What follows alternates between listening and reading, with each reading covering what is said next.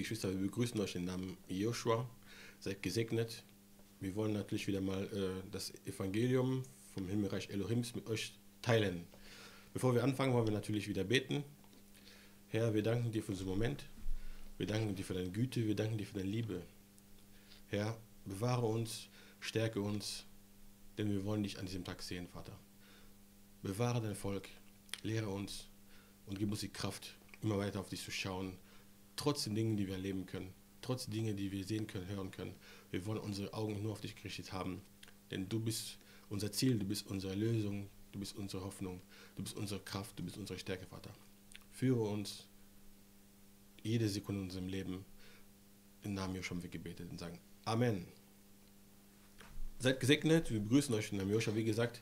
Wir wollen einfach nur die Gemeinde stärken, die Gemeinde ermutigen, äh, aufbauen, so wie es auch äh, gewünscht ist vom Herrn Joshua selbst. Wir werden lesen im Offenbarung Kapitel 3 ab Vers 1. Und dem Engel der Gemeinde in Sardes schreibe, da sagt der, welche die sieben Geister Gottes oder die sieben Geister Elohims und die sieben Sterne hat. Ich kenne deine Werke. Du hast den Namen, dass du lebst und bist doch tot. Ich, äh, ich werde, werde wach und stecke das Übrige, das im, im Begriff steht zu sterben. Denn ich habe deine Werke nicht vollendet erfunden vor Elohim. So denke nur daran, wie du empfangen und gehört hast, und bewahre es und tue Buße. Wenn du nicht, wenn du nun nicht wachst, so werde ich über dich kommen wie ein Dieb, und du wirst nicht erkennen, zu welcher Stunde ich über dich kommen werde. Doch du hast einige wahre Namen, auch in Sardes, äh, die ihre Kleider nicht befleckt haben. Und sie werden mit mir wandeln in weißen Kleidern, denn sie sind es wert. Wer überwindet, der wird mit weißen Kleidern bekleidet werden, und ich will seinen Namen nicht auslöschen aus dem Buch des Lebens. Und ich werde seinen Namen bekennen vor meinem Vater und vor seinen Engeln. Wer Ohren hat, der höre, was der Geist den Gemeinden sagt. Amen. Ich werde nochmal lesen, was mich sehr interessiert hat. Hier ist hier die Vers 5. Wer überwindet, der wird mit, den, mit weißen Kleidern bekleidet werden und ich will seinen Namen nicht auslöschen aus dem Buch des Lebens. Und ich werde seinen Namen bekennen vor meinem Vater und vor seinen Engeln. Amen. Hier sehen wir, spricht der Herr Joshua, weil die Offenbarung offenbart von ihm. Amen. Und er sagt, er spricht zu der Gemeinde von Sardes. Und äh, in Vers 5 sagt er, wer überwindet, dieser, diese Personen, die überwinden, was überwinden? Diese Personen, die überwinden, die es aushalten, die es durchziehen, die konsequent sind, die entschlossen sind, diese Personen die wird, die wird er mit weißen Kleider bekleiden und er wird seinen Namen nicht aus dem Buch des Lebens auslöschen. Wow. Das heißt, er hat auch die Möglichkeit, die Namen einiger Leute aus dem Buch auszulöschen. Und zwar die, die, die es nicht überwinden. Amen. Weil äh, es wurde, es gibt auch ein Evangelium, der sagt, einmal gerettet, immer gerettet. Und die basieren auch wie auf dem Vers von Römer, Kapitel 8, ab Vers 1 da wo steht, wer, äh, es gibt kein Urteil mehr für die, die in Christus sind. Aber leider wurde ein Teil von dem Vers in manchen Bibeln äh, einfach herausgelöscht, also gar nicht, wo, gar nicht eingeschrieben. In manchen Übersetzungen. Wir können es mal ganz kurz schauen. Römer Kapitel 8.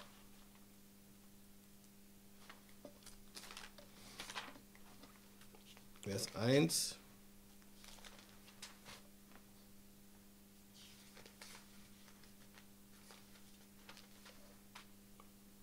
Also gibt es jetzt keinen Verdammnis für die, die in Christus oder in Mashiach Yeshua sind. Das, und das war's. Also das heißt, sie haben auch hier in der Version den zweiten Teil ausgelöscht. Einfach weggenommen. Aber da kommt eigentlich ein Komma hin. Das, das steht in der richtigen Version oder im Griechischen, wenn man, wenn man für die, die die Sprache beherrschen, das lesen können, können uns das bestimmt bestätigen. also es gibt keinen Verdammnis für die, die in Christus Jesus sind und vor allem für die, die nicht nach dem Fleisch, aber sondern nach seinem Heiligen Geist wandeln. Amen. weil die Fleische, das, das Fleisch hat, hat, hat, äh, hat Gelüste, hat gegensätzliche Gelüste von dem, was von dem, von dem Geist, was wir sehen können in Galater 5. Es heißt, das stimmt nicht, das ist einmal gerettet, immer gerettet. Nein, aber für die, die überwinden, die, die überwinden, die das aushalten werden, die das durchziehen, die entschlossen sind, für die, die wird er mit weißen Kleidern äh, bekleiden. Und er wird den Namen dieser Person, dieser, den Namen dieserjenigen bezeugen vor dem Herrn, der Himmel und Erde erschaffen hat, vor unserem Elohim Joshua und vor seinen Engeln. Amen. Also lass dich nicht täuschen, dass du sagst, okay, ich, hab, äh, ich bin jetzt Mitglied Gemeinde X, Y oder Z oder ich gehe, ich tue das, ich habe den Herrn empfangen und ich kann tun, was ich will. Ich kann mich weiter befriedigen, selbst befriedigen. Ich kann mich, ich kann weiter lügen. Ich kann weiter äh, Pornografie anschauen. Nein, nein, nein, nein, nein, nein, nein. Hier steht drin, wer über, überwindet. Und ich weiß jetzt nicht in welcher Version. Wenn wir, mal gucken, vielleicht im, im Schlachter, vielleicht in der Version vom Schlachter, weil die Version, die ich vorhin gelesen habe hier äh, über Römer, das ist die Version von Eberfelder. Wir mal schauen, was Schlachter 2000 sagt. Ich hoffe, dass Römer hier richtig übersetzt wurde.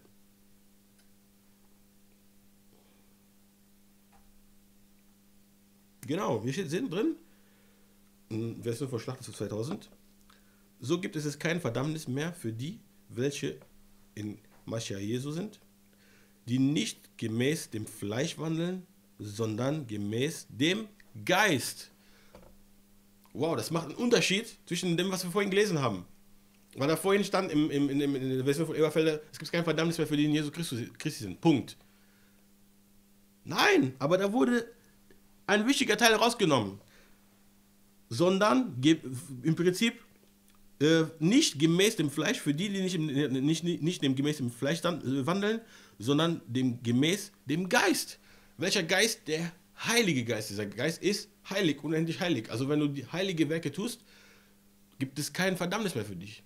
Aber wenn du weiter nach dem Gelüste des Fleisches lebst, dann kann der Name ausgelöscht werden.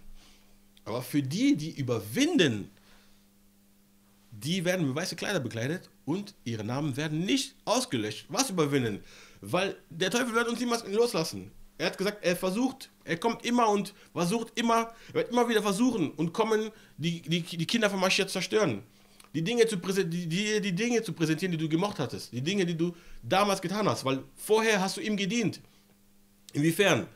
Als du gekifft hast, als du, als du andere Art, Arten von Drogen konsumiert hast, als du gelogen hast, als du, äh, wer ist es, äh, in, in, in der Hurerei warst, als du dich betrunken hast, und so weiter und so fort, hast du ihm gedient, weil das sind seine Werke. Und ab dem Tag, wo du den Herrn empfangen hast, wo du Buße getan hast, wo du sagst, okay, ich höre auf, ich sehe ein, mein Leben war schlecht und ich möchte jetzt den wahren Weg gehen, ich möchte den wahren Weg mit dem Herrn Jeshua gehen. Ab dem Moment hast du die Dinge aufgegeben.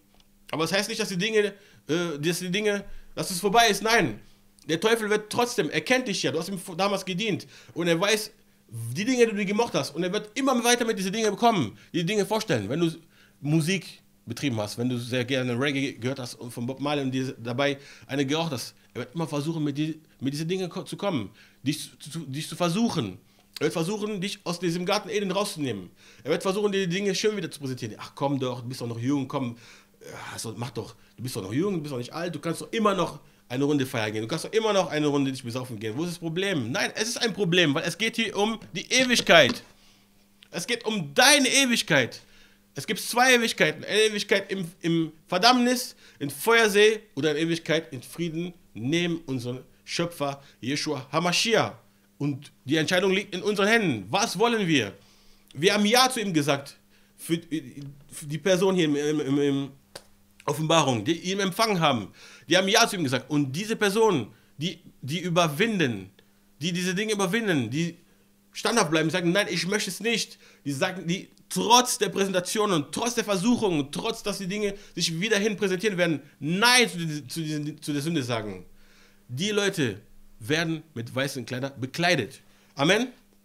Das ist eine Art von Überwindung. Wir können aber auch sehen in Matthäus 5. Matthäus Kapitel 5. Ab Vers 5 steht zum Beispiel glückselig die Sanftmütigen, Aber in Wirklichkeit heißt es gesegnet. Also nicht glücklich, aber der Segen. Das ist der Segen hat im Prinzip nichts mit materiellen Dingen zu tun. Weil in vielen Gemeinden wird gepredigt, ja, kommt, ihr seid gesegnet. Gesegnet wird uns so vorgestellt, dass, dass du gesegnet bist, wenn du viel Besitz hast, also materiell, Geld, Autos, Häuser und so weiter und so fort. Nein, du kannst die Dinge besitzen, aber du bist nicht gesegnet, weil der wahre Segen ist, wenn du hier schon im Leben hast. Wenn du Friede hast, wahre Liebe, Erlösung von dieser ganzen Last. Kommt zu mir alle, die geladen seid und mühseligen. Ich werde euch erquicken. Der wird uns Frieden geben, die die Welt uns nicht geben kann. Er wird uns die Liebe geben, die die, Welt uns nicht geben kann. Zuversicht, Vertrauen, die die Welt uns nicht geben kann. Kraft und Mut, die die Welt dir nicht geben kann. Das ist der wahre Segen, wenn du Joshua hast. Das ist der wahre Segen. Sagte, gesegnet sind die Sanftmütigen, äh, denn sie werden das Land er erben. Gesegnet, die nach Gerechtigkeit hungern und dürsten, denn sie werden gesättigt werden. Gesegnet sind die Barmherzigen, denn ihnen wird Barmherzigkeit widerfahren. Gesegnet äh, die, reinen, die reinen Herzen sind, denn sie werden Elohim schauen. Gesegnet die Friedensstifter, denn sie werden Söhne Elohims heißen. Äh, gesegnet die, gerecht, äh, die um Gerechtigkeit Wille verfolgt, die um Gerechtigkeit willen verfolgt, denn ihrer ist das Reich des Himmels. Gesegnet sind die, die verfolgt werden wegen diesem Wort, wegen dem Evangelium. Inwiefern verfolgt? Die werden euch verfolgen, die werden euch hassen. Wieso? Weil ihr seht das Licht der Welt.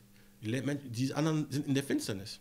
Und die wollen von dem Licht nicht. Also das heißt, die tun Dinge, die in der Finsternis sind. Die töten, die lügen, die hassen, die betrügen, sind in Ehebruch und so weiter und so fort. Und du kommst dahin, du hast das Licht.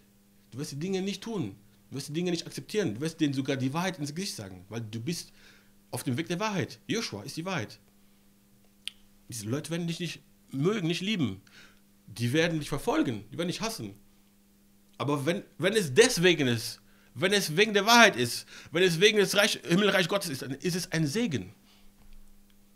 Und der Herr beendet die Sache gar nicht da. Der, sagt auch noch, der geht auch noch viel weiter. Der sagt, okay, die Leute werden dich verfolgen, die werden dich hassen, aber was tue du? Liebe sie.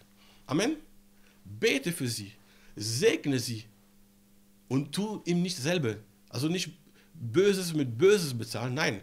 Aber wenn die mit Bösen kommen, segne sie. Bete für sie. Wow. Wie kann ein normaler Mensch das mal tun? Geht es nicht. Also das heißt, die Person, die es umsetzt, hat das wahre Segen empfangen.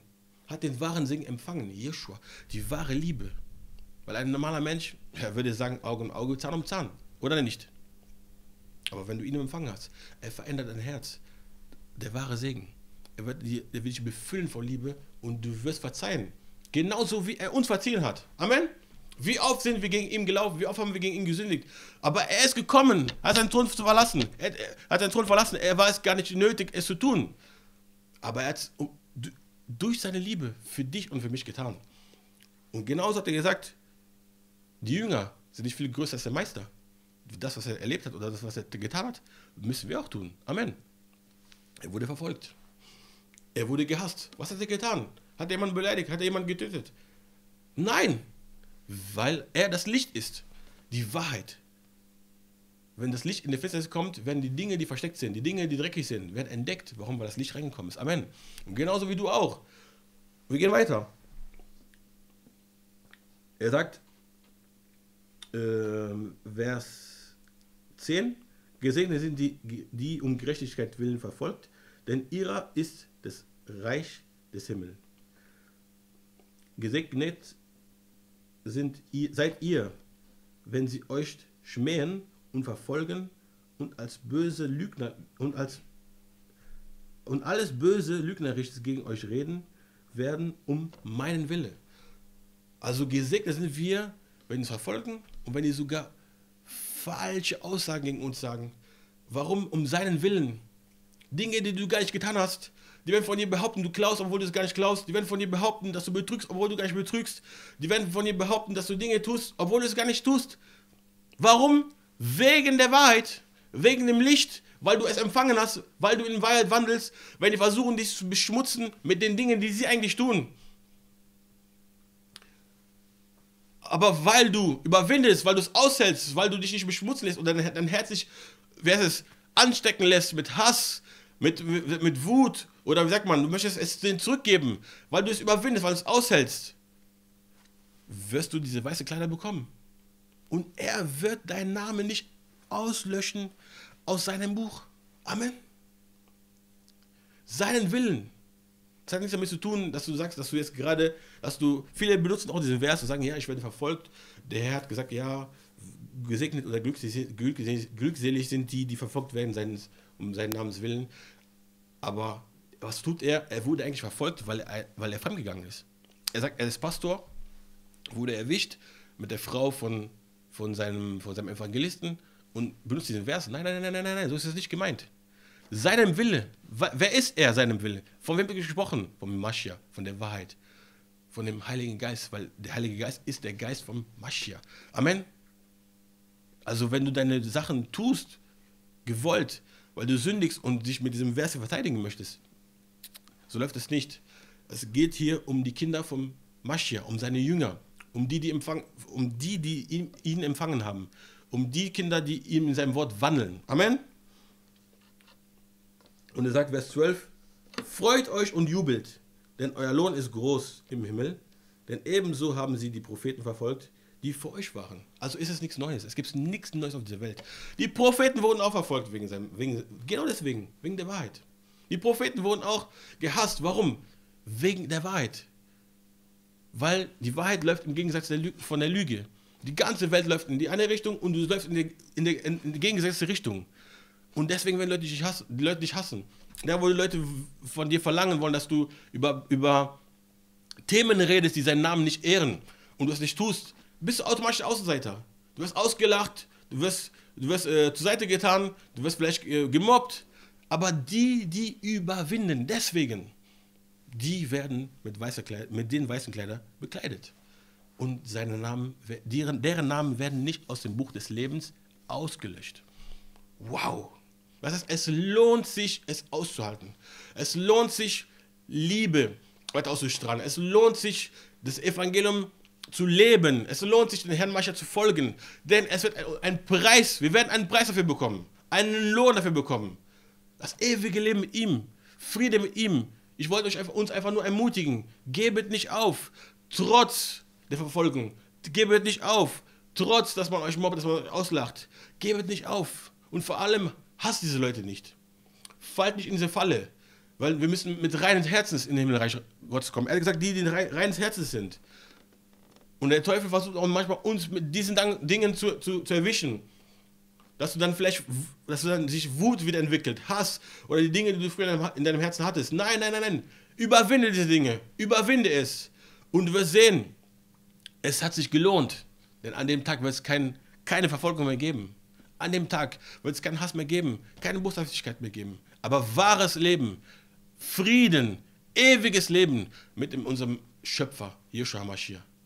Der, der überwindet, wird ihn, wird ihm sehen. Der, der Nein zur Sünde sagt, wird ihm sehen.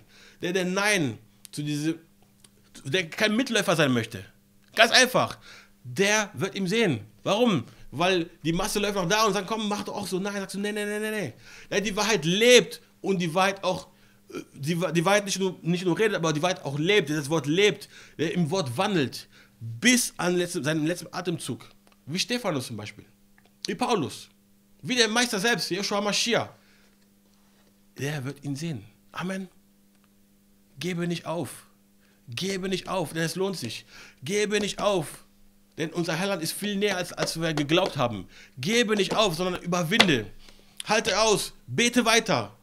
Bete weiter. Es ist nicht einfach, ja. Mach weiter. Weiter fürbitten. Wenn er sagt, dir sagt, du sollst fasten, tu es weiter. Gebe nicht auf denn dein Lohn kommt. Wir werden kurz lesen, Offenbarung 22. Offenbarung 22, letzte Buch. Offenbarung 22, Vers 11. Wer Unrecht tut, tue nur Unrecht. Und, wer, und der Unreine verunreinige sich noch. Und der Gerechte übe noch Gerechtigkeit.